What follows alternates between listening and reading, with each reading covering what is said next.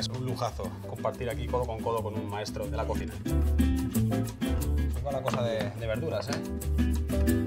Esto sí que es... Esto huele que alimenta.